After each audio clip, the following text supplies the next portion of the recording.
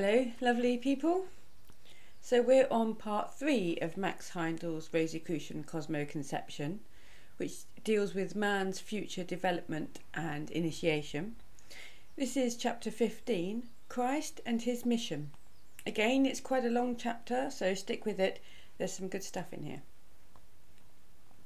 The evolution of religion. In the foregoing part of this work, we've become familiar with the way in which our present outside world came into existence and how man evolved the complicated organism with which he is related to outer conditions. We've also, in a measure, studied the Jewish race religion, and we will next consider the last and greatest of the divine measures put forth for the uplifting of humanity, Christianity which will be the universal religion of the future. It's a notable fact that man and his religions have evolved side by side and in an equal degree. The earliest religion of any race is found to be as savage as the people governed by it, and they become more civilized, their religions become more and more humane and in harmony with higher ideals. From this fact, materialists have drawn the inference that no religion has a higher origin than man itself. Their investigations into early history have resulted in a conviction that as man progressed, he civilized his God and fashioned him after his own pattern. But this reasoning is defective because it fails to take into account that man is not the body but an indwelling spirit, an ego which uses the body with ever increasing facility as evolution progresses. There's no doubt that the law for the body is the survival of the fittest. The law of evolution of the spirit demands sacrifice. As long as man believes that might is right, the form prospers and waxes strong because all obstacles are swept out of the way regardless of others. If the body were all, that manner of life would be the only one possible for man. He would be altogether incapable of any regard for others and would forcibly resist any attempt to encroach upon what he considered his rights, the right of the stronger, which is the sole standard of justice under the law of the survival of the fittest he would be quite regardless of his fellow beings, absolutely insensible to force from without, that tended to make him act in any manner not conducive to his own momentary pleasure. It's manifest, then, that whatever urges a man towards a higher standard of conduct in his dealing with others must come from within, and from a source which is not identical with the body Otherwise, it wouldn't strive with the body and often prevail against its most obvious interests. Moreover, it must be a stronger force than that of the body, or it could not succeed in overcoming its desires and compelling it to make sacrifices for those who are physically weaker. That such a force exists, surely no one will deny.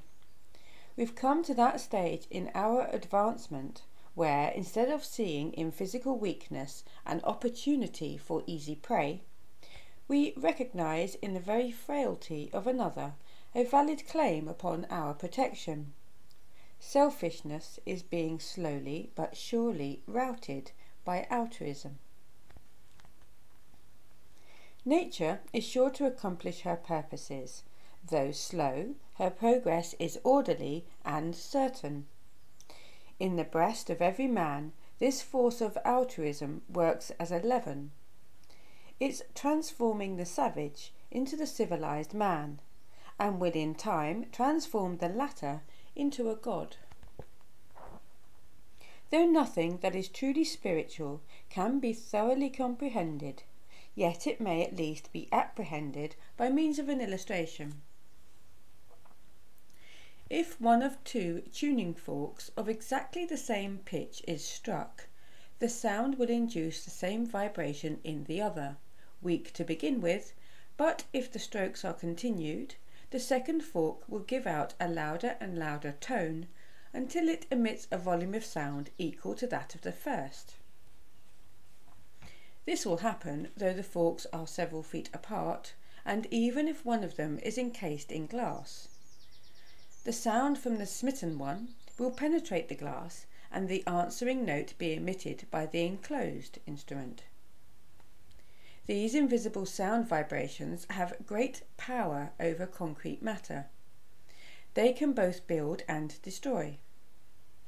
If a small quantity of very fine powder is placed upon a brass or glass plate and a violin bow drawn across the edge, the vibrations will cause the powder to assume beautiful geometrical figures. The human voice is also capable of producing these figures, always the same figure for the same tone. If one note or chord after another be sounded upon a musical instrument, a piano or preferably a violin, for from it more gradations of tone can be obtained, a tone will finally be reached which will cause the hearer to feel a distinct vibration in the back of the lower part of the head. Each time that note is struck, the vibration will be felt. That note is the keynote of the person whom it so affects. If it's struck slowly and soothingly, it will build and rest the body, tone the nerves, and restore health. If, on the other hand, it be sounded in a dominant way, loud and long enough, it will kill as surely as a bullet from a pistol. If we now apply what has been said about music or sound to the problem of how this inner force is awakened and strengthened, we may perhaps understand the matter better. In the first place, let us particularly note the fact that the two tuning forks were of the same pitch. Had this not been the case, we might have sounded and sounded one of them until the crack of doom, but the other one would have remained mute. Let's understand this thoroughly. Vibration can be induced in one tuning fork by one of like tone only. Anything or any being can be affected as above, stated by no sound except its own keynote. We know that this force of altruism exists. We also know that it's less pronounced among uncivilized people than among people of higher social attainment. And among the very lowest races, it's almost entirely lacking. The logical conclusion is that there was a time when it was altogether absent. Consequent upon this conclusion follows the natural question well, what induced it? The material personality surely had nothing to do with it. In fact, that part of man's nature was much more comfortable without it than it has been at any time since. Man must have had the force of altruism latent within, otherwise it could not have been awakened. And still further, it must have been awakened by a force of the same kind a similar force that was already active as the second tuning fork was started into vibration by the first after it was struck. We also saw that the vibrations in the second fork become stronger and stronger under the continued impacts of sound from the first, and that a glass case was no hindrance to the induction of the sound under the continued impacts of a force similar to that within him, the love of God to man has awakened this force of altruism and is constantly increasing its potency. It's therefore reasonable and logical to conclude that at first it was necessary to give man a religion commensurate with his ignorance. It would have been useless to talk to him at that stage of a God who was all tenderness and love. From his viewpoint, those attributes were weaknesses, and he couldn't have been expected to reverence a God who possessed what were to him despicable qualities.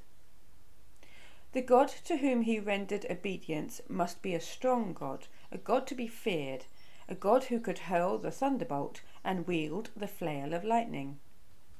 Thus man was impelled first to fear God and was given religions of a nature to further his spiritual well being under the lash of fear.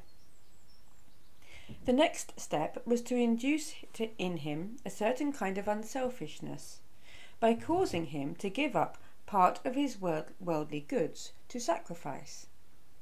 This was achieved by giving him the tribal or race god, who is a jealous god, and requiring of him the strictest allegiance and the sacrifice of wealth, which the growing man greatly prizes. But in return, this race god is a friend and mighty ally, fighting man's battles and giving him back manyfold the sheep, bullocks, and grain which he sacrificed. He had not yet arrived at the stage where it was possible for him to understand that all creatures are akin, but the tribal god taught him that he must deal mercifully with his brother tribesmen, and gave laws which made for equity and fair dealing between men of the same race. It mustn't be thought that these successive steps were taken easily, nor without rebellion and lapses upon the part of primitive man. Selfishness is ingrained in the lower nature even until this day, and there must have been many lapses and much backsliding. We have in the Jewish Bible good examples of how man forgot and had to be patiently and persistently prodded again and again by the tribal god. Only the visitations of a long suffering race spirit were potent at times in bringing him back to the law, and that law very few people have yet learned to obey. There are always pioneers, however, who require something higher when they become sufficiently numerous, a new step in evolution is taken, so that several gradations always exist. There came a time nearly 2,000 years ago when the most advanced of humanity were ready to take another step forward and learn the religion of living a good life for the sake of future reward in a state of existence in which they must have faith. This was a long, hard step to take, it was comparatively easy to take a sheep or a bullock to the temple and offer it as a sacrifice. If a man brought the first fruits of his granary, his vineyards, or his flocks and herds, he still had more, and he knew that the tribal god would refill his stores and give abundantly in return. But in this new departure, it wasn't a question, question of sacrificing his goods. It was demanded that he sacrifice himself. It wasn't even a sacrifice to be made by one supreme effort of martyrdom. That also would have been comparatively easy. Instead, it was demanded that day by day, from morning until night, he must act mercifully towards all. He must forego selfishness and love his neighbour, as he had used to be loving himself. And moreover, he was not promised any immediate and visible reward, but must have faith in a future happiness. Is it strange that people find it difficult to realise this high ideal of continued well doing? Made doubly hard by the fact that self interest is entirely ignored. Sacrifice is demanded with no positive assurance of any reward, and surely it's much to the credit of humanity that so much altruism is practiced and that it's constantly increasing. The wise leaders, knowing the frailness of the spirit to cope with the selfish instincts of the body and the dangers of despondency in the face of such standards of conduct, gave another uplifting impulse when they incorporated in the new religion the doctrine of vicarious atonement. This idea is scouted by some very advanced philosophers and the law of consequence made paramount. If it so happens that the reader agrees with these philosophers, we request that we await the explanation herein set forth, showing how both are part of the scheme of upliftment. Suffice it to say, for the present, that this doctrine of atonement gives many an earnest soul the strength to strive, and in spite of repeated failures, to bring the lower nature under subjection. Let it be remembered that for reasons given when the laws of rebirth and consequence were discussed, Western humanity knew practically nothing of these laws. With such a great ideal before them as the Christ, and believing they had but a few short years in which to attain to such a degree of development as this, would it not have been the greatest imaginable cruelty to leave them without help? Therefore, the great sacrifice on Calvary, while it also served other purposes, as will be shown, becomes rightfully the beacon of hope for every earnest soul who is striving to achieve the impossible to attain in one short life to the perfection demanded by the Christian religion. Jesus and Christ Jesus. To gain some insight into the great mystery of Golgotha and to understand the mission of Christ as the founder of the universal religion, it is necessary that we must first become familiar with his exact nature, and incidentally that of Jehovah, who is the head of such race religions as Taoism, Buddhism, Hinduism, Judaism, etc. Also with the identity of the Father, to whom Christ is to give up the kingdom in due time. In the Christian Creed occurs the sentence Jesus Christ, the only begotten Son of God. This is generally understood to mean that a certain person who appeared in Palestine about 2,000 years ago, who is spoken of as Jesus Christ, one separate individual, was the only begotten Son of God. But this is a great mistake. There are three distinct and widely different beings characterized in this sentence.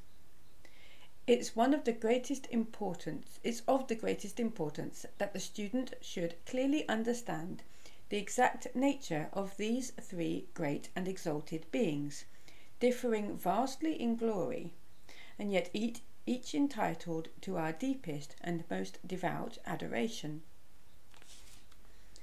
The student is requested to turn to diagram 6 of this book and note that the only begotten, the Word of who John speaks, is the second aspect of the Supreme Being. This word and it alone is begotten of his Father, the first aspect, before all worlds. Without him was not anything made that was made, not even the third aspect of the Supreme Being, which proceeds from the two previous aspects. Therefore, the only begotten is the exalted being which ranks above all else in the universe, save only the power aspect which created it. The first aspect of the Supreme Being thinks out or imagines the universe before the beginning of active manifestation. Everything, including the millions of solar systems and the great creative hierarchies which inhabit the cosmic planes of existence above the seventh, which is the field of our evolution.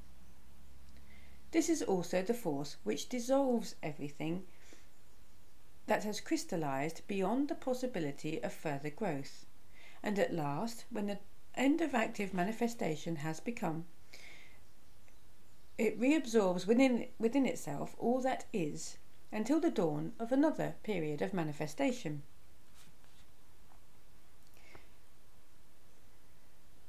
The second aspect of the Supreme Being is that which manifests in matter as the forces of attraction and cohesion thus giving it the capability of combining into forms of various kinds. This is the Word, the creative fiat, which moulds the primordial cosmic root substance in a manner similar to the formation of figures by musical vibrations. As previously mentioned, the same tone always producing the same figure. So this great primordial word brought or spoke into being in finest matter all the different worlds with all their myriads of forms, which have since been copied and worked out in detail by the innumerable creative hierarchies. The Word could not have done this, however, until the third aspect of the Supreme Being had first prepared the cosmic root substance, had awakened it from its normal state of inertia, and set the countless inseparate atoms spinning upon their axes, placing those axes at various angles with respect to each other, and giving to each kind a certain measure of vibration. These varying angles of inclination of the axes and the measures of vibration made the cosmic root substance capable of forming different combinations, which are the basis of the seven great cosmic planes. There is in each of these planes a different inclination of the axes, and also a different measure of vibration. Consequently, the conditions and combinations in each one are different from those in any of the others, due to the activity of the only begotten. Diagram 14 of this book shows that the Father is the highest initiate among the humanity of the Saturn period. The ordinary humanity of that period are now the lords of mind. The Son, Christ, is the highest initiate of the Sun Esuan period. The ordinary humanity of that period are now the archangels. The Holy Spirit, Jehovah, is the highest initiate of the moon period. The ordinary humanity of that period are now the angels. This diagram shows what are the vehicles of these different orders of beings, and upon comparison with diagram 8 of the book, it will be seen that their bodies or vehicles, indicated by squares on the diagram, correspond to the globes of the period in which they were human. This is always the case so far as the ordinary humanities are concerned, for at the end of the period during which any life wave becomes individualized as human beings, those beings retain bodies corresponding to the globes on which they have functioned. On the other hand, the initiates have progressed and evolved for themselves higher vehicles, discontinuing the ordinary use of the lowest vehicle when the ability to use a newer and new and higher one had been attained. Ordinarily, the lowest vehicle of an archangel is the desire body, but Christ, who is the highest initiate of the SUN Sun period, ordinarily uses the life spirit as the lowest vehicle. Functioning as consciously in the world of life spirit as we do in the physical world. The student is requested to note this point particularly as the world of life spirit is the first universal world, as explained in the chapter on worlds. It's the world in which differentiation ceases and unity begins to be realized, so far as our solar system is concerned. Christ has power to build and function in a vehicle as low as the desire body, such as is used by the archangels, but he can descend no further. The significance of this will be seen presently. Jesus belongs to our humanity. When the man, Jesus, is studied through the memory of nature, he can be traced back life by life, where he lived in different circumstances under various names in different embodiments. The same in that respect as any other human being, but this cannot be done with the being Christ. In his case can be found but one embodiment. It must not be supposed, however, that Jesus was an ordinary individual. He was of a singularly pure type of mind, vastly superior to the great majority of our present humanity. Through many lives had he trod the path of holiness, and thus fitted himself for the greatest honour ever bestowed upon a human being. His mother, the Virgin Mary, was also a type of the highest human purity, and because of that was selected to become the mother of Jesus. His father was a high initiate, virgin, and capable of performing the act of fecundation as a sacrament without personal desire or passion. Thus, the beautiful, pure, and lovely spirit whom we know as Jesus of Nazareth, was born into a pure and passionless body. This body was the best that could be produced on earth, and the task of Jesus in that embodiment was to care for it and evolve it to the highest possible degree of efficiency, in preparation for the great purpose it was to serve. Jesus of Nazareth was born about the time stated in the historic records, and not 105 BC as stated in some occult works. The name Jesus is common in the East, and an initiate named Jesus did live around 105 BC, but he took the Egyptian initiation and was not Jesus of Nazareth with whom we're concerned. The individual, who was later born under the name of Christian Rosenkreutz, who is in the body today, was a highly evolved being when Jesus of Nazareth was born. His testimony, as well as the results of first hand investigation by later Rosicrucians, all agree in placing the birth of Jesus of Nazareth at the beginning of the Christian era, on about the date usually ascribed to that event. Jesus was educated by the Essenes and reached a very high state of spiritual development during the 30 years in which he used his body. It may be here said, parenthetically, that the Essenes were a third sect which existed in Palestine, besides the two mentioned in the New Testament, the Pharisees and the Sadducees. The Essenes were an exceedingly devout order widely different from the materialistic Sadducees and entirely opposite to the hypocritical, publicity seeking Pharisees. They shunned all mention of themselves and their methods of study and worship. To the latter peculiarity is due the fact that almost nothing is known of them, and they are not mentioned in the New Testament.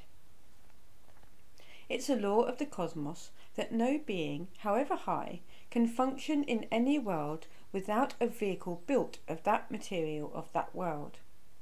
Therefore, the, the desire body was the lowest vehicle of the group of spirits who had reached the human stage in the sun period. Christ was one of those spirits and was consequently unable to build for himself a vital body and a dense vehicle. He could have worked upon humanity in a desire body as did his younger brothers, the archangels, as race spirits. Jehovah had opened an avenue for them to enter the dense body of man by means of the air he inhaled. All race religions were religions of law, and creators of sin through disobedience of that law. They were under the direction of Jehovah, whose lowest vehicle is the human spirit, correlating him to the world of abstract thought, where everything is separative and therefore leads to self seeking. This is precisely the reason why the intervention of Christ became necessary. Under the regime of Jehovah, unity is impossible. Therefore, the Christ, who possesses as a lowest vehicle the unifying life spirit, must enter into the dense human body. He must appear as a man among men and dwell in this body, because only from within is it possible to conquer the race religion, which influences man from without. Christ could not be born in a dense body because he had never passed through an evolution such as the Earth period, and therefore he would have had to first acquire the ability to build a dense body such as ours. But even had he possessed that ability, it would have been inexpedient for such an exalted being to expend for that purpose the energy necessary for body building through antenatal life, childhood, and youth, to bring it to sufficient maturity for use. He'd ceased to use ordinarily vehicles such as would correspond to our human spirit, mind, and desire body, although he'd learned to build them in the sun period and retained the ability to build and function in them whenever desired or required. He used all his own vehicles, taking only the vital and dense bodies from Jesus.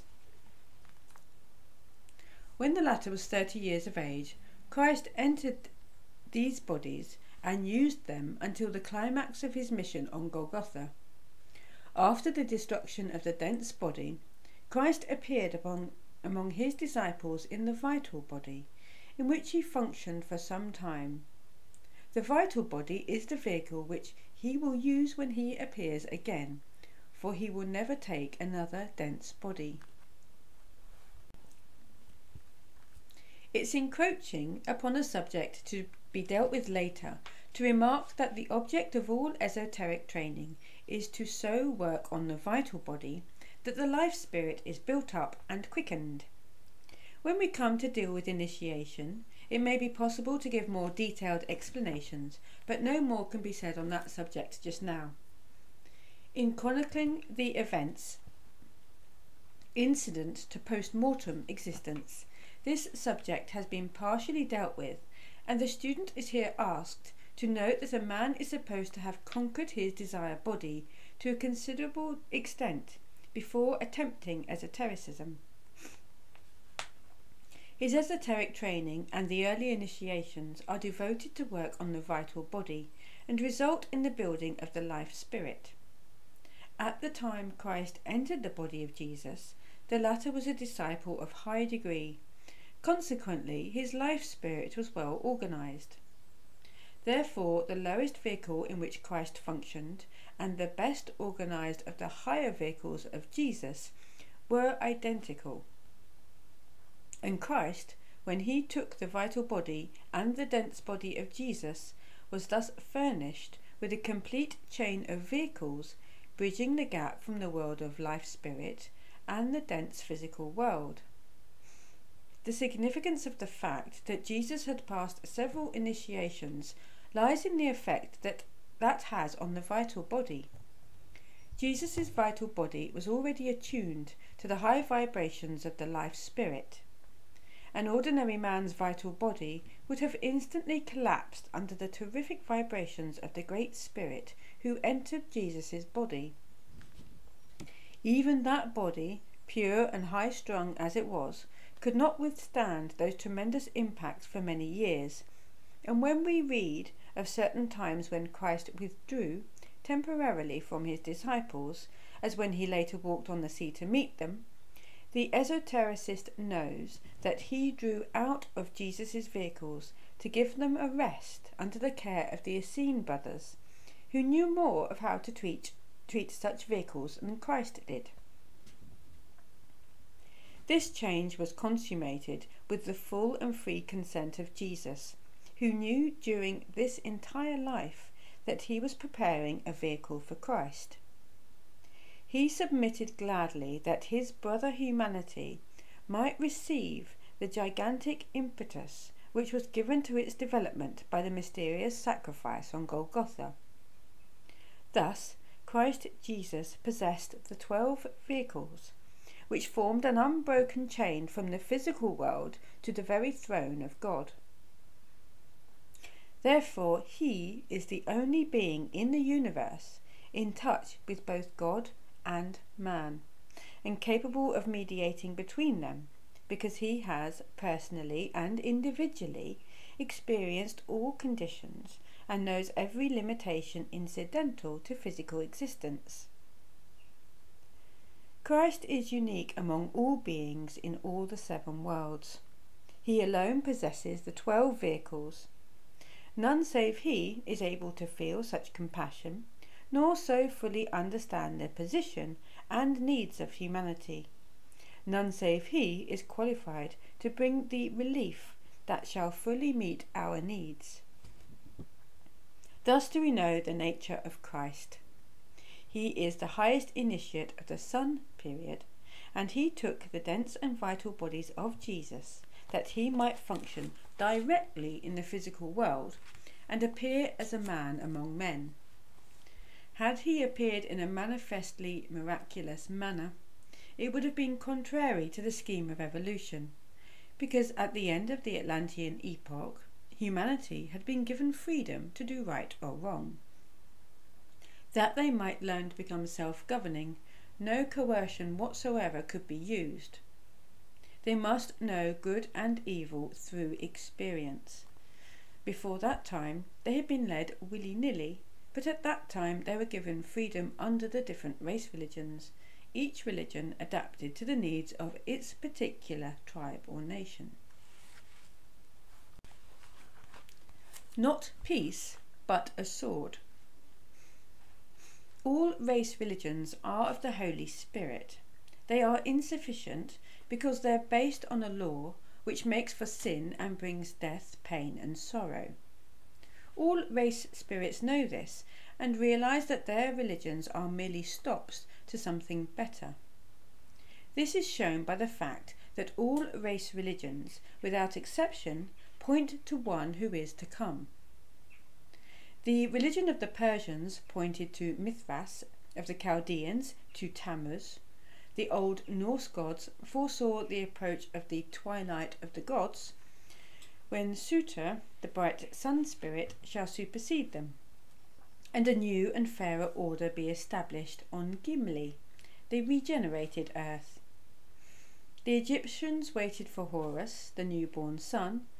Mithras and Tammuz are also symbolized as solar orbs, and all the principal temples were built facing the east that the rays of the rising sun might shine directly through the open doors. Even St. Peter's at Rome is so placed. All these facts show that it was generally known that the one who was to come was a sun spirit. And he was to save humanity from the separative influences necessarily c- contained in all race religions. These religions were steps which it's necessary for mankind to take to prepare for the advent of Christ. Man must first cultivate a self before he can become really unselfish and understand the higher phase of universal brotherhood, unity of purpose and interest, for which Christ laid the foundation at his first coming, and which he will make living realities when he returns. As the fundamental principle of a race religion is separation, inculcating self seeking at the expense of other men and nations, it's evident that if, if the principle is carried to its ultimate conclusion, it must necessarily have an increasingly destructive ten- tendency and finally frustrate evolution, unless succeeded by a more constructive religion. Therefore, the separative religions of the Holy Spirit must give place to the unifying religion of the Son, which is the Christian religion. Law must give place to love, and the separate races and nations be united in one universal brotherhood, with Christ as the eldest brother. The Christian religion has not yet had time to accomplish this great object man is still in the toils of the dominant race spirit, and the ideals of Christianity are yet too high for him. The intellect can see some of its beauties and readily admits that we should love our enemies, but the passions of the desire body are still too strong. The law of the race spirit being an eye for an eye, the feeling is I'll get even. The heart prays for love, the desire body hopes for revenge. The intellect sees in the abstract the beauty of loving one's enemies, but in concrete cases it allies itself with the vengeful feeling of the desire body, pleading as an excuse for getting even that the social organism must be protected. It's a matter for congratulation, however, that society feels compelled to apologise for the retaliative methods used. Corrective methods and mercy are becoming more and more prominent in the administration of the laws, as is shown by the favourable reception which has been accorded that very modern institution, the juvenile court. Further manifestation of this same tendency may be noted in the increasing frequency with which convicted prisoners are released on probation under suspended sentence. Also, in the greater humanity with which prisoners of war are treated of late years. These are the vanguards of the sentiment of universal brotherhood, which is slowly but surely making its influence felt. Yet, though the world is advancing, and though, for instance, it has been comparatively easy for the writer to secure a hearing for his views in the different cities where he has lectured, the daily papers sometimes devoting to his utterances whole pages and front pages at that, so long as he confined himself to speaking of the higher worlds and the post mortem states, it's been very noticeable that as soon as the theme was universal brotherhood, his articles have always been consigned to the wastebasket. The world in general is very unwilling to consider anything that it that is, as it thinks, too unselfish. There must be something in it. Nothing is regarded as an entirely natural line of conduct if it offers no opportunity for getting the best of one's fellow men. Commercial undertakings are planned and conducted on that principle, and before the minds of those who are enslaved by the desire to accumulate useless wealth, the idea of universal brotherhood conjures up frightful visions of the abolition of capitalism and its inevitable, inevitable concomitant, the exploitation of others, with the wreck of business interests implied thereby. Hmm. The word enslaved exactly describes this condition. According to the Bible, man was to have dominion over the world, but in the vast majority of cases, the reverse is true. It is the world which has dominion over man. Every man who has property interests will, in his saner moments, admit that they are a never failing source of worry to him. He is constantly scheming to hold his possessions, or at least to keep from being deprived of them by sharp practice, knowing that others are as constantly scheming to accomplish that to them desirable end. The man is the slave of what, with unconscious irony, he calls my possessions, when in reality they possess him. Well did the sage of Concord say, Things are in the saddle and ride mankind. This state of affairs is the result of race religions with their system of law. Therefore, they all look for one who is to come. The Christian religion alone is not looking for one who is to come, but for the one who is to come within. Oh, sorry, I'll read that again. The Christian religion alone is not looking for one who is to come, but for one who is to come again. The time of this second coming depends upon when the Church can free itself from the state. The Church, especially in Europe, is bound to the chariot of state. The ministers are fettered by economic considerations and dare not proclaim the truths that their studies have revealed to them. A visitor to Copenhagen, Denmark, recently witnessed a church confirmation service. The church there is under state control and all ministers are appointed by the temporal power. The parishioners have nothing whatever to say in the matter. They may attend church or not, as they please, but they're compelled to pay the taxes which support the institution. In addition to holding office by the bounty of the state, the pastor of the particular church visited was decorated with several orders conferred by the king the glittering badges bearing silent but eloquent testimony as to the extent of his subservience to the state. During the ceremony, he prayed for the king and the legislators that they might rule the country wisely. As long as kings and legislators exist, this prayer might be very appropriate, but it was considerable shock to hear him add, And Almighty God protect and strengthen our army and navy. Such a prayer as this shows plainly that the God worshipped is the tribal or national God, the race spirit, for the last act of the gentle Christ Jesus was to stay the sword of the friend who would have protected him therewith. Although he said he had not come to send peace but a sword, it was because he foresaw the oceans of blood that would be spilled by militant Christian nations in their mistaken understanding of his teachings, and because high ideals cannot be immediately attained to by humanity.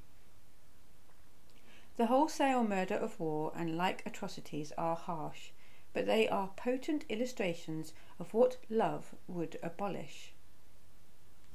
There is apparently a flat contradiction between the words of Christ Jesus, I come not to send peace but a sword, and the words of the celestial song which heralded the birth of Jesus on earth peace, goodwill towards men. This contradiction, however, is apparent only. There is as great an apparent contradiction between a woman's words and her actions when she says, I'm going to clean the house and tidy up, and then proceeds to take up carpets and pile chairs one upon another, producing general confusion in a previously orderly house. One observing only this aspect of the matter would be justified in saying she is making matters worse instead of better. But when the purpose of her work is understood, the expediency of the temporary disorder is realized, and in the end her house will be the better for the passing disturbance. Hmm. Similarly, we must bear in mind that the time which has elapsed since the coming of Christ Jesus is but a little more than a moment in comparison with the duration of even one day of manifestation. We must learn, as did Whitman, to know the amplitude of time, and look beyond the past and present cruelties and jealousies of the warring sex to the shining age of universal brotherhood, which will mark the next great step of man's progress on his long and wondrous journey from clod to God, from protoplasm to conscious unity with the Father, that one far off divine event to which the whole creation moves. It may be added that the above mentioned pastor, during the ceremony of receiving his pupils into the church, taught them that Jesus Christ was a composite individual, that Jesus was the mortal human part, while Christ was the divine immortal spirit.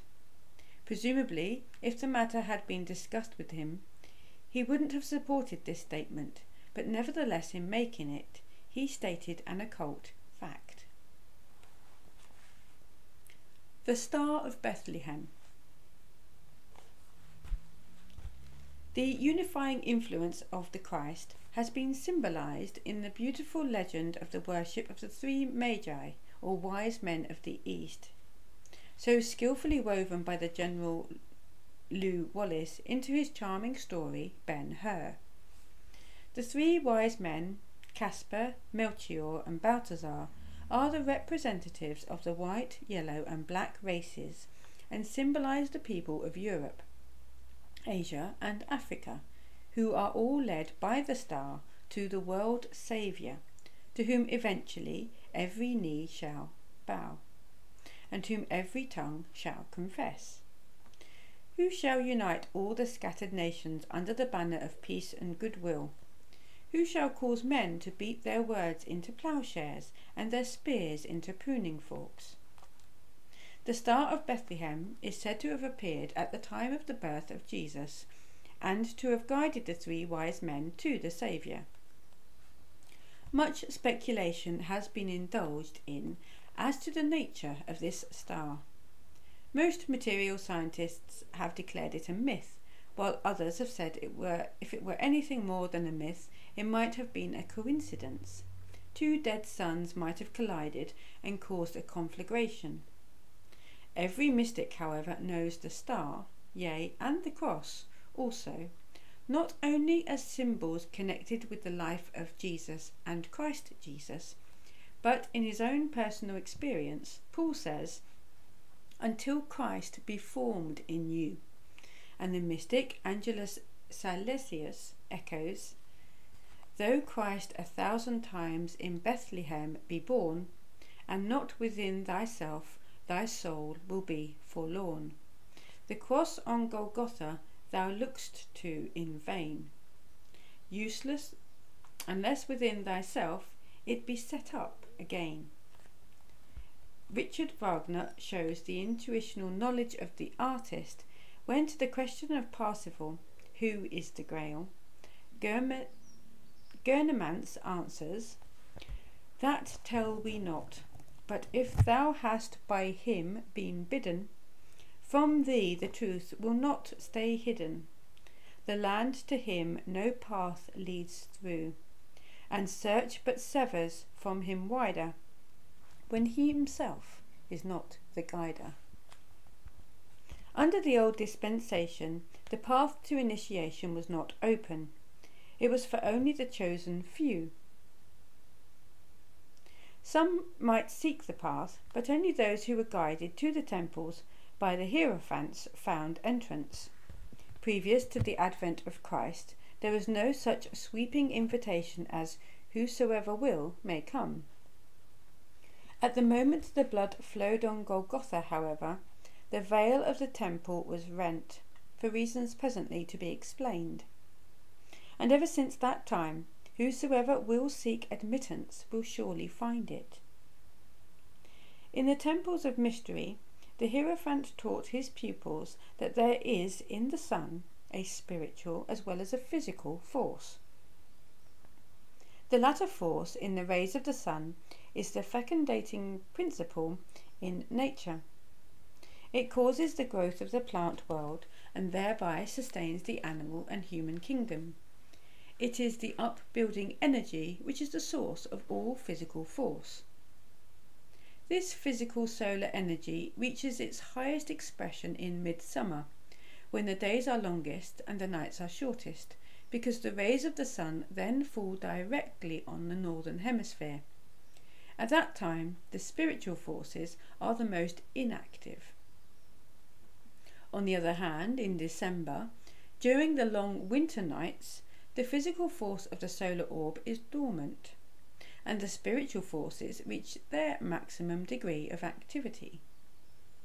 The night between the 24th and the 25th of December is the holy night par excellence of the entire year. The zodiacal sign of the Immaculate Celestial Virgin stands upon the eastern horizon near midnight. The sun of the new year is then born and starts upon his journey from the southernmost point towards the northern hemisphere to save that part of humanity, physically, from the darkness and famine which would inevitably result if he were to remain permanently south of the equator. To the people of the northern hemisphere, where all our present day religions originated, the sun is directly below the earth and the spiritual influences are strongest in the north, at midnight of the 24th of December. That being the case, it follows as a matter of course that it would then be easiest for those who wish to take a definite step towards initiation to get in conscious touch with the spiritual sun, especially for the first time. Therefore, the pupils who were ready for initiation were taken in hand by the Hierophants of the Mysteries, and by means of ceremonies performed in the temple, were raised to a state of exaltation where they transcended physical conditions. To their spiritual vision, the solid earth became transparent, and they saw the sun at midnight, the star, it wasn't the physical sun they saw with spiritual eyes, however, but the spirit in the sun, the Christ, their spiritual savior, savior, as the physical sun was their physical savior. This is the star that shone on that holy night and that still shines for the mystic in the darkness of night. When the noise and confusion of physical activity are quieted, he enters into his closet and seeks the way to the King of Peace.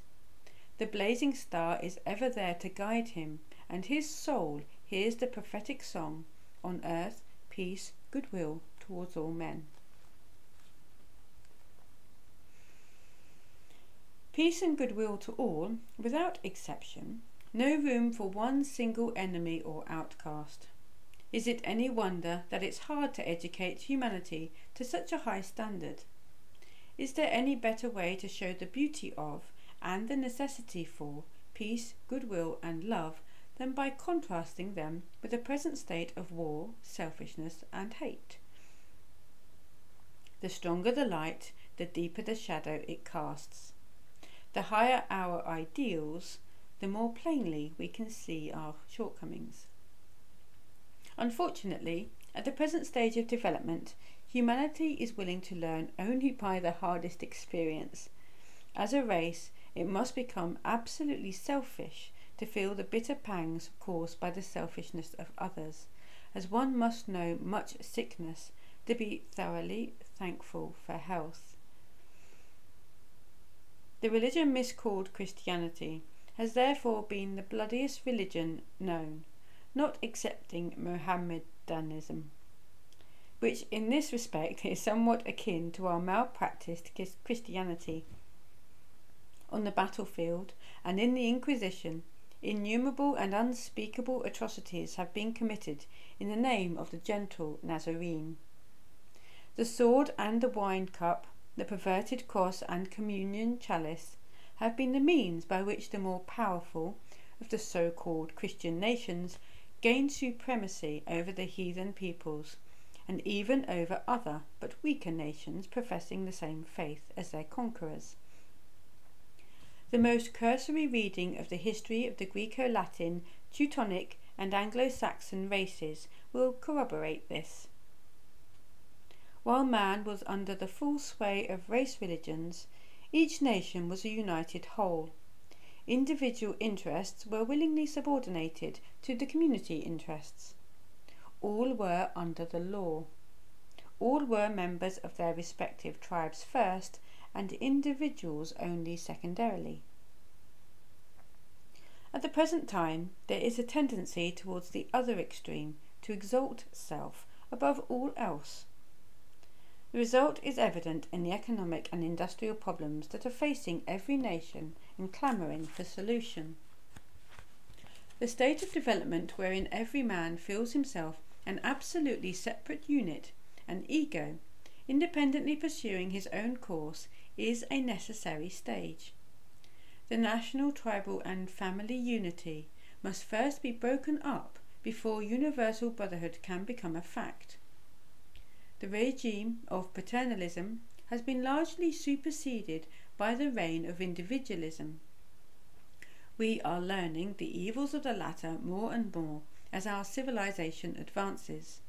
Our unsystematic method of distributing the products of labour, the rapacity of the few, and the exploitation of the many, these social crimes result in underconsumption, industrial depressions, and labour disturbances, destroying internal peace. The industrial war of the present day is vastly more far reaching and destructive than the military wars of nations. The heart as an anomaly. No lesson, though its truth may be superficially assented to, is of any real value as an active principle of the life until the heart has learned in longing and bitterness. And the lesson man must so learn is that what is not beneficial to all can never be truly beneficial to any. For nearly two thousand years we have lightly assented with our lips that we should govern our lives in accordance with ma- maxims such as return good for evil. The heart urges mercy and love, but the reason urges belligerent and retaliatory measures. If not as revenge, at least as a means of preventing a repetition of hostilities. It's this divorce of head from heart that hinders the growth of a true feeling of universal brotherhood and the adoption of the teachings of Christ, the Lord of love. The mind is the focusing point by means of which the ego becomes aware of the material universe. As an instrument for the acquisition of knowledge in those realms, the mind is invaluable. But when it arrogates to itself the role of dictator, as to the conduct of man to man, it's, it is as though the lens should say to an astronomer, who was in the act of photo- photographing the sun through a telescope, You have me improperly focused. you are not looking at the sun correctly. I don't think it's good to photograph the sun anyway, and I want you to point me at Jupiter. The rays of the sun heat me too much and are liable to damage me. If the astronomer exercises his will and focuses the telescope as he desires, telling it to attend to its business of transmitting the rays that strike it, leaving the results to him, the work will proceed well. But if the lens has the stronger will, and the mechanism of the telescope is in league with it, the astronomer will be seriously hampered in having to contend with a refractory instrument, and the result will be blurred pictures of little or no value. Thus it is with the ego. It works with a threefold body which it controls, or should control, through the mind. But sad to say, this body has a will of its own, and is often aided and abetted by the mind, and thus frustrating the purposes of the ego. This antagonistic lower will is an expression of the higher part of the desire body. When the division of the sun, moon, and earth took place, in the early part of the Lemurian epoch, the more advanced portion of humanity in the making experienced a division of the desire body into a higher and lower part. The rest of humanity did likewise in the early part of the Atlantean epoch. The higher part of the desire body became a sort of animal soul. It built the cerebrospinal nervous systems and the voluntary muscles, by that means controlling the lower part of the threefold body until the link of mind was given. Then the mind coalesced with this animal soul and became a co-regent. The mind is thus bound up in desire, is enmeshed in the selfish lower nature, making it difficult for the spirit to control the body. The focusing mind, which should be the ally of the higher nature, is alienated by and in league with the lower nature, enslaved by desire. The law of the race religions was given to emancipate intellect from desire. The fear of God was pitted against the desires of the flesh. This, however, was not enough to enable one to become master of the body and secure its willing cooperation it became necessary for the spirit to find in the body another point of vantage, which was not under the sway of the desire nature. All muscles are expressions of the desire body, and a straight road to the capital, where the traitorous mind is wedded to desire and reigns supreme. If the United States were at war with France, it would not land troops in England, hoping in that way to subjugate the French it would land its soldiers directly in France and fight there. Like a wise general, the ego followed a similar course of action. It didn't commence its campaign by getting control of one of the glands, for they are expressions of the vital body, nor was it possible to get control of the voluntary muscles, for they are too well garrisoned by the enemy. That part of the involuntary muscular system which is controlled by the sympathetic nervous system, would also be useless for that purpose. It must get into a more direct touch with the cerebrospinal nervous system. To do this, and secure a base of operations in the enemy's country, it must control a muscle which is involuntary and yet connected with the voluntary nervous system. Such a muscle is the heart. We've previously spoken of the two kinds of muscles, voluntary and involuntary. The latter are formed in lengthwise strips and are connected with functions not under the control of the will, such as digestion, respiration, excretion, etc. The voluntary muscles are those which are controlled by the will through the voluntary nervous system, such as the muscles of the hand and the arm. They are striped both lengthwise and crosswise. They are striped both lengthwise and crosswise. The above is true of all muscles in the body except the heart, which is an involuntary muscle. Ordinarily, we can't control the circulation. Under normal conditions, the heartbeat is a fixed quantity. Yet, to the bewilderment of physiologists, the heart is cross striped like a voluntary muscle. It's the only organ in the body exhibiting this peculiarity, but sphinx like, it refuses to give material scientists an answer to the riddle.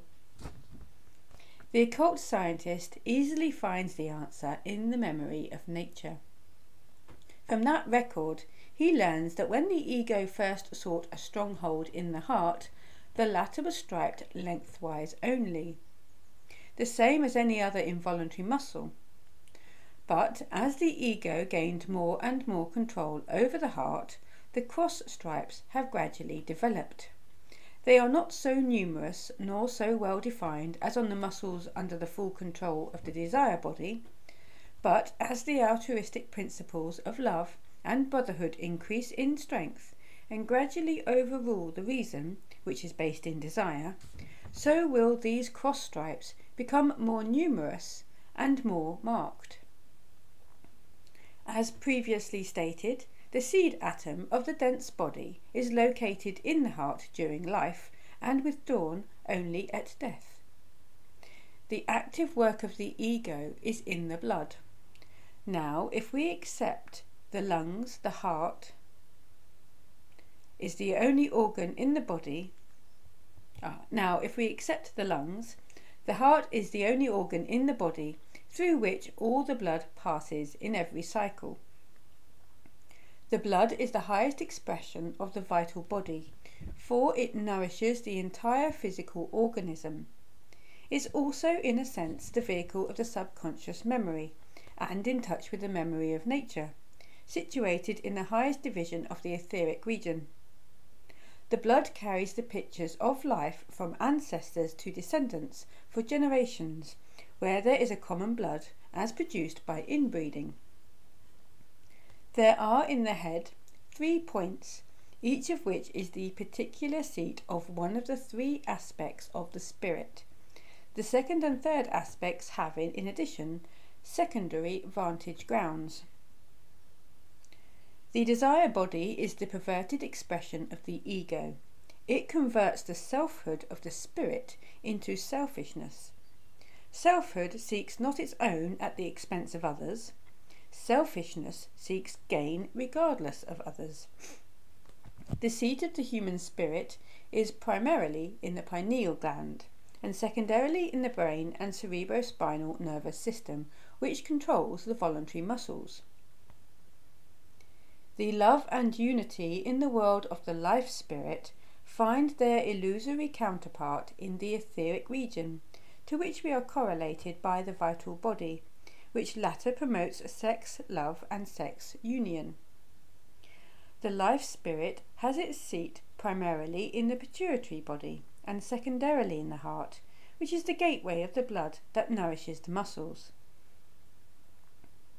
The actionless divine spirit, the silent watcher, finds its material expression in the passive, inert, and irresponsive skeleton of the dense body which is the obedient instrument of other bodies, but has no power to act on its own initiative. The divine spirit has its stronghold in the impenetrable point at the root of the nose. In reality, there is but one spirit, the ego, but looking at it from the physical world, it's refracted into the three aspects which work as stated. As the blood passes through the heart, cycle after cycle, hour after hour, all through life, it engraves the pictures it carries upon the seed atoms while they're still fresh, and thus making a faithful record of the life which is indelibly impressed on the soul in the post mortem existence. It's always in closest touch with the life spirit, the spirit of love and unity. Therefore, the heart is the home of altruistic love. As these pictures passed inward to the world of life spirit, in which is the true memory of nature, they don't come through the slow physical senses, but directly through the fourth ether contained in the air we breathe. In the world of life spirit, the life spirit sees much more clearly than it can in the denser worlds.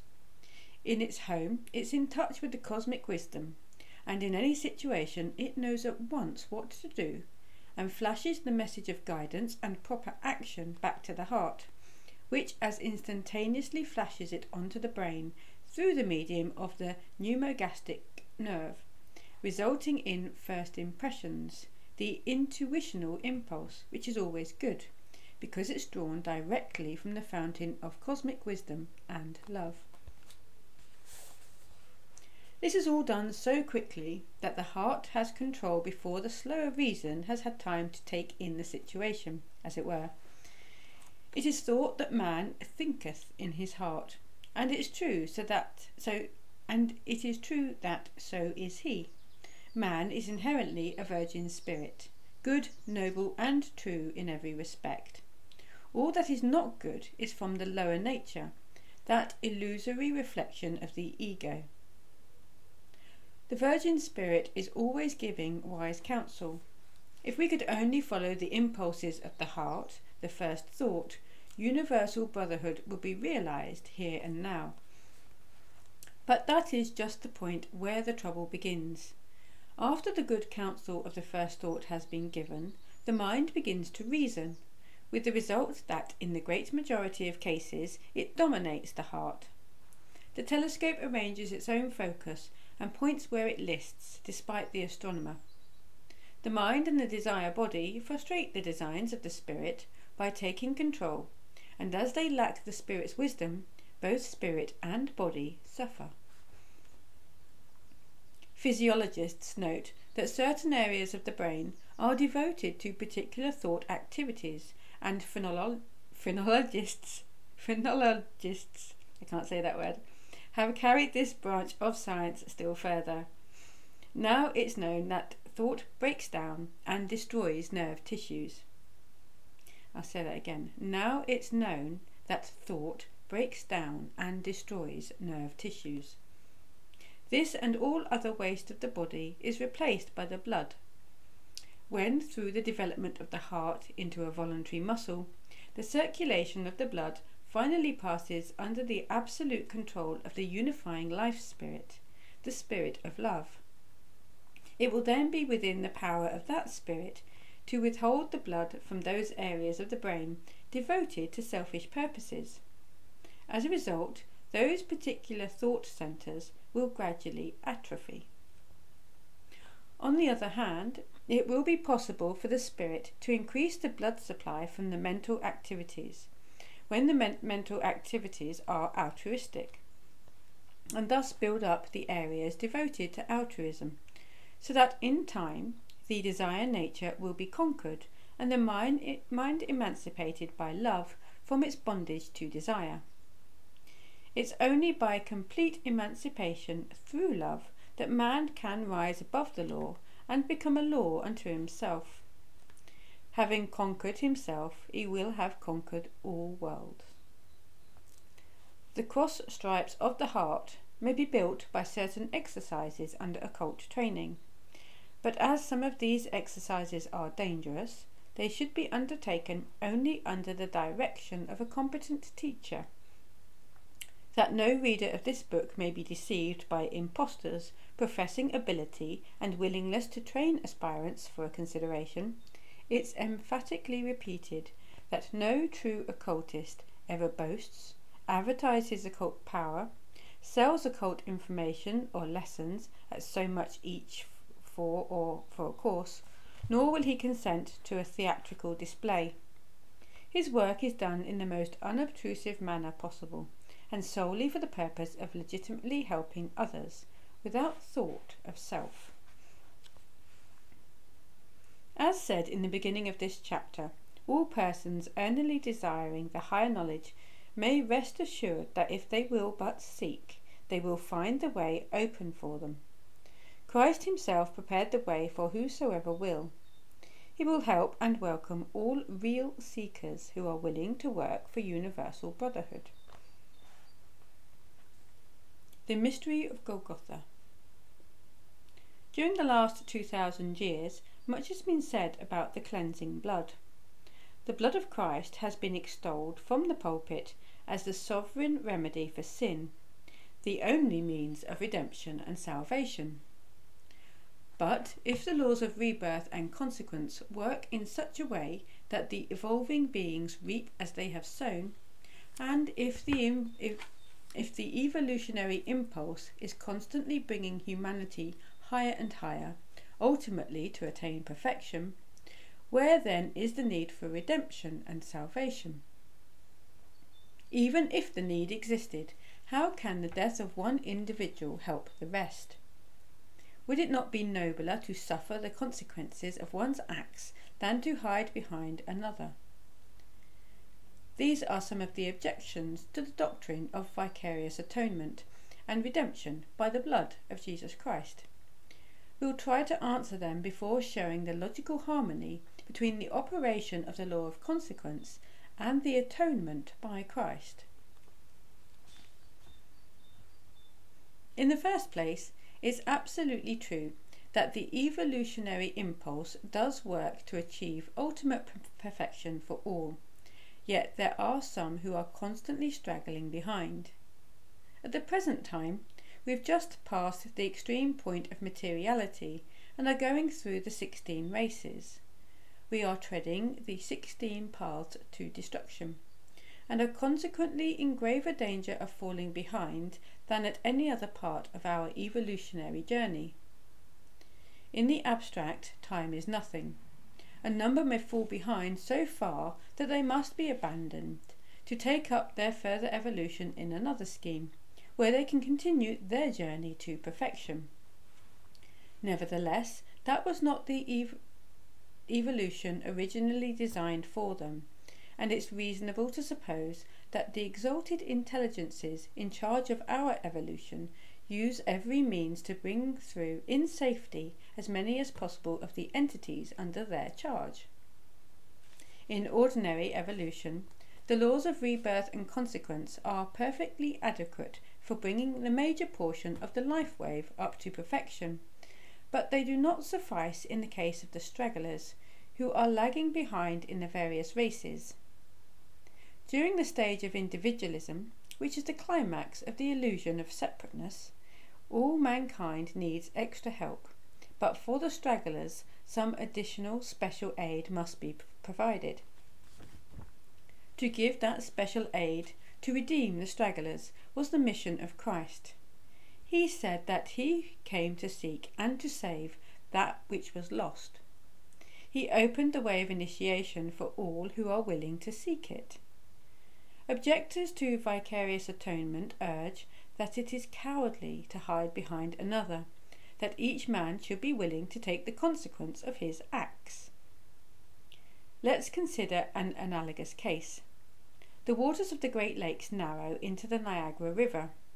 For 20 miles, this enormous volume of water flows rapidly towards the falls.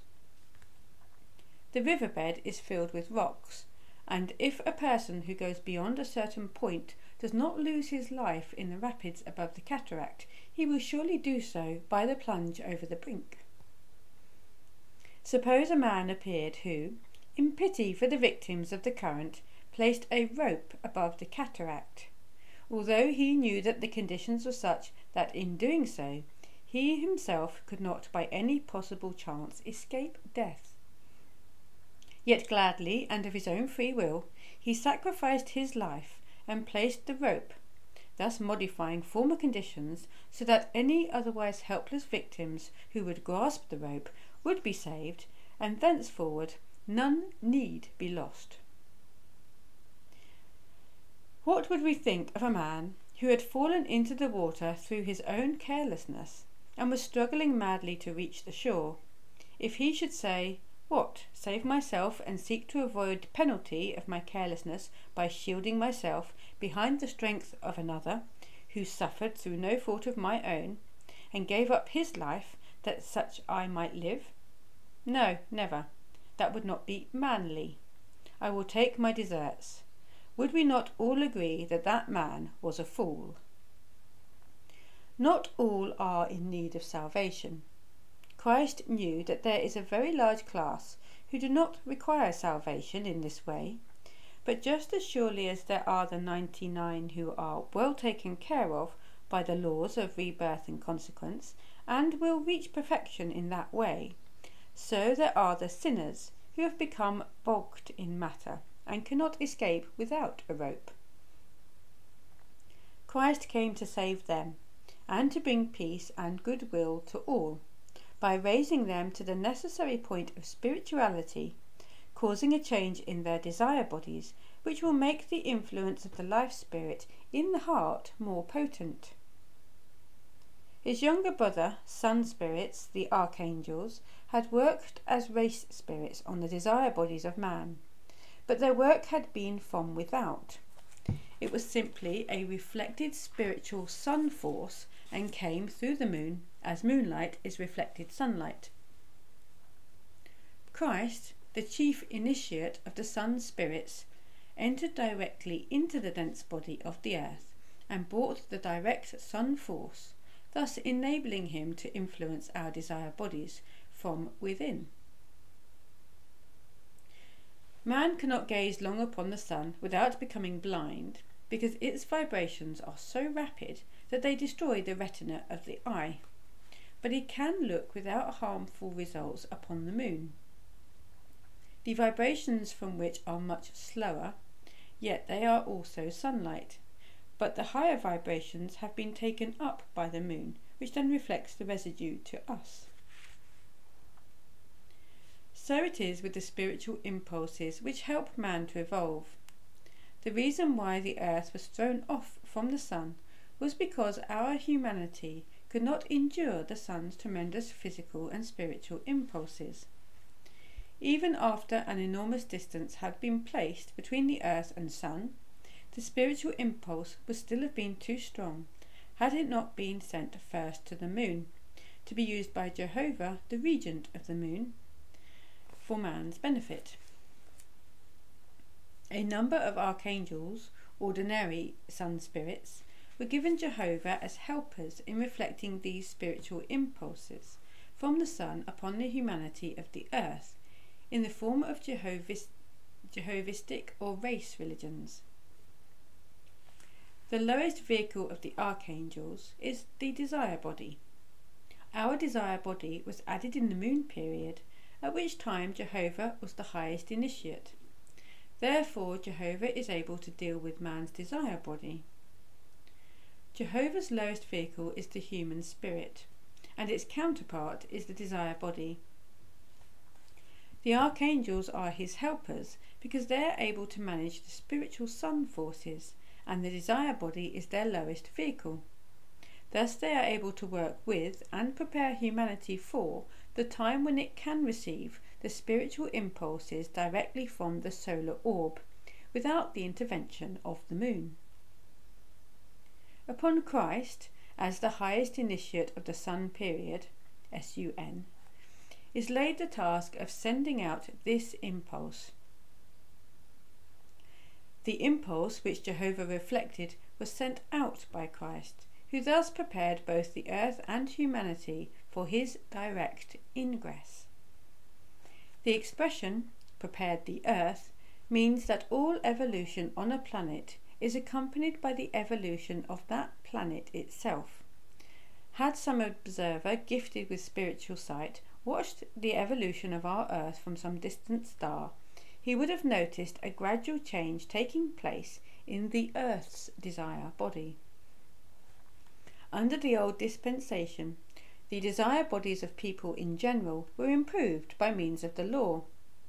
This work is still going on in the majority of people who are thus preparing themselves for the higher life.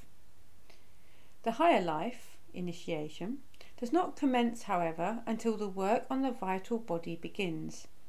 The means used for bringing that into activity is love, or rather altruism. The former word has been so abused that it no longer conveys the meaning here required. During the old dispensation, the path of initiation was not free and open except to the chosen few. The Hierophants of the Mysteries collected certain families about the temples, setting them apart from all the other people. These chosen families were then rigorously guarded as to certain rites and ceremonies Their marriages and sexual intercourse was, were regulated by the Hierophants.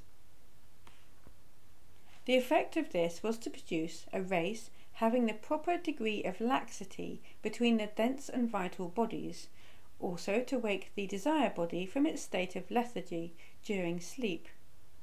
Thus, a special few were made fit for initiation and were given opportunities that could not be given to all.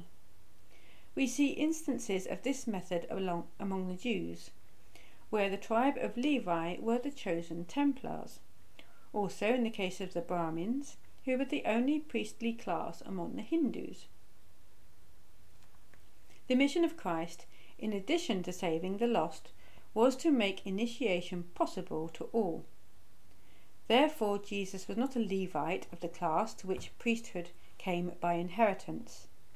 He came from the common people, and though not of the teacher class, his teaching was higher than that of Moses. Christ Jesus did not deny Moses, the law, nor the prophets. On the contrary, he acknowledged them all and showed the people that they were his witnesses, as they all pointed to one who was to come. He told the people that those things had served their purpose and that henceforth love must supersede law. Christ Jesus was killed.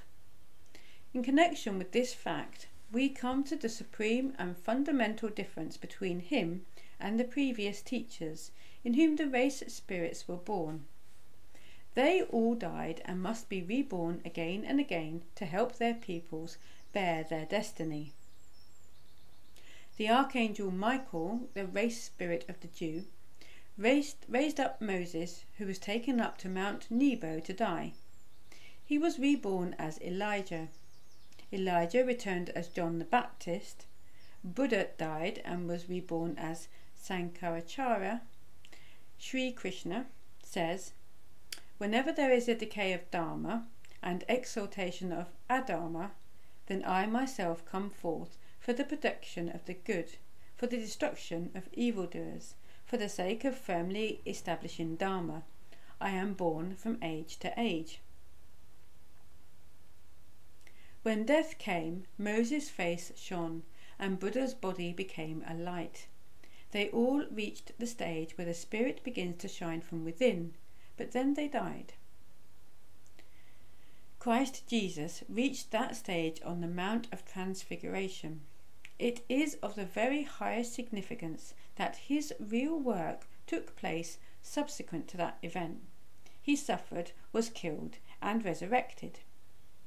Being killed is a very different thing from dying. The blood that had been the vehicle of the race spirit must flow and be cleansed of that contaminating influence. Love of father and mother, exclusive of other fathers and mothers, must go Otherwise, universal brotherhood and an all embracing altruistic love could never become an actuality. The cleansing blood.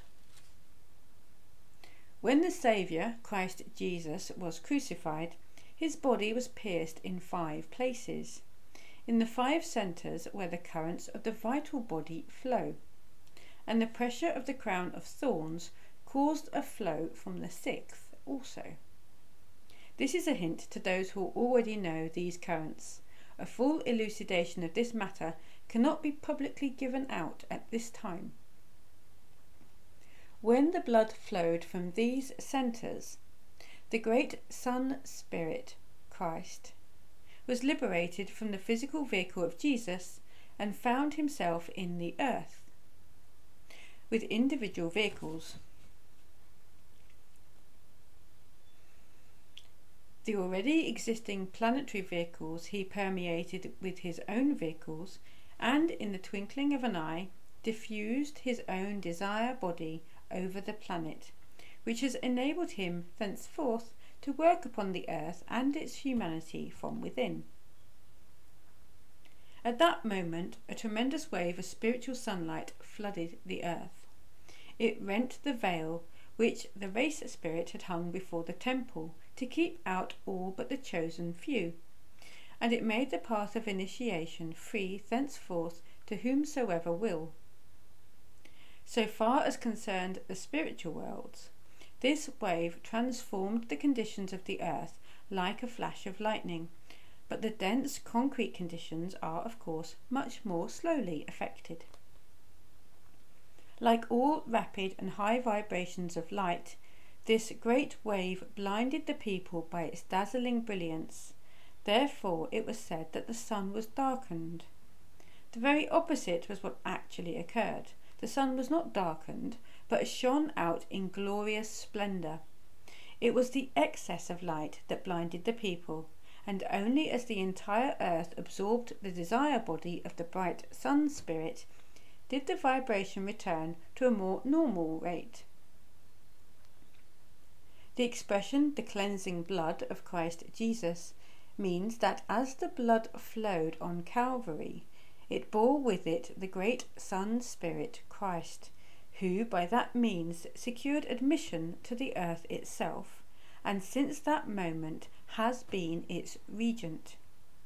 He diffused his own desire body throughout the planet, and thereby cleansing it from all the vile influences which had grown up under the regime of the race spirit. Under the law, all sinned. Nay, more, they couldn't help it. They had not evolved to where they could do right for love's sake. The desire nature was so strong that it was an impossibility for them to rule it altogether, and therefore their debts, engendered under the law of consequence, piled up to monstrous proportions. Evolution would have been terribly delayed and many lost to our life wave altogether if some help had not been given. Therefore did Christ come to seek and to save that which was lost. He took away the sin of the world by his cleansing blood, which gave him entrance to the earth and its humanity. He purified the conditions, and we owe it to him that we are able to gather for our desire bodies purer desire stuff than formerly. Formerly, and he continues working to help us by making our external environment constantly purer. That this was and is done at the expense of great suffering to himself, no one can doubt, who is able to form the least conception of the limitations endured by that great spirit in entering the hampering conditions of physical existence, even in the best and purest vehicle possible nor is his limitation as regent of the earth mu- much less painful. True, he is also regent of the sun, and therefore only partially confined to the earth. Yet the limitations set by the crampingly slow vibrations of our dense planet must be almost unendurable. Had Christ Jesus simply died, it would have been impossible for him to have done this work. But the Christians have a risen Saviour, one who is ever present to help those who call upon his name. Having suffered like unto ourselves in all things, and knowing fully our needs, he is lenient towards our mistakes and failures so long as we continue trying to live the good life.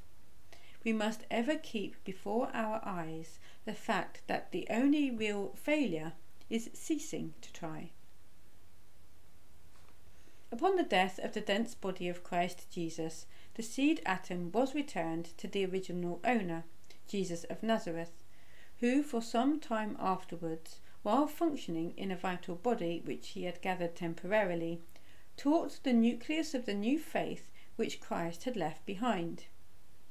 Jesus of Nazareth has since had the guidance of the esoteric branches which sprang up all over Europe. In many placed the Knights of the Round Table, were high initiates of the mysteries of the new dispensation. So were the Knights of the Grail, to whom was finally confided Joseph of Arimathea's Grail cup, which was used by Christ Jesus at the Last Supper. They were afterward entrusted also with the lance which pierced his side and the receptacle which received the blood from the wound.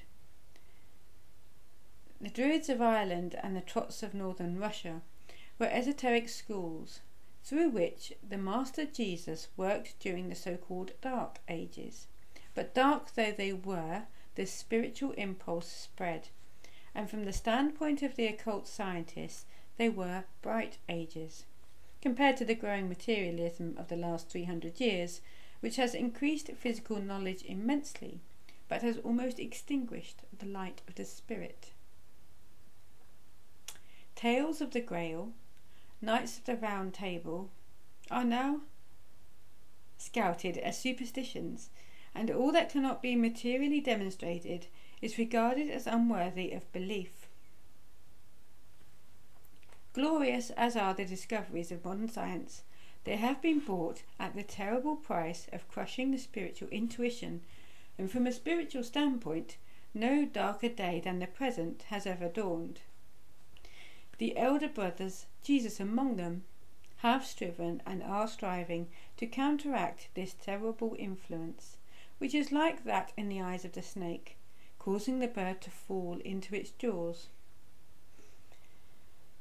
Every attempt to enlighten people and awaken in them a desire to cultivate the spiritual side of life is an evidence of the activity of the elder brothers.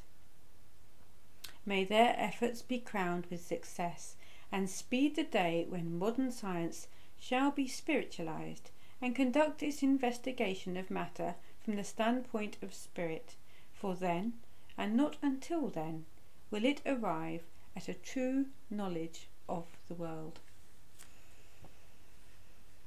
Okay, that concludes chapter 15 of Heindel's Rosicrucian Cosmoconception. There was a great deal of very interesting and useful and valid material in that chapter. I hope you enjoyed it. Thank you very much, and I will see you at chapter 16.